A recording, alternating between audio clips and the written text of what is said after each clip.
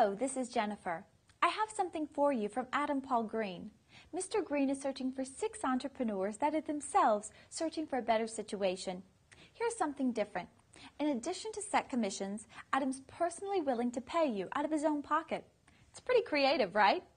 You heard me. Adam is throwing down the gauntlet and is willing to put his offer up against anyone's.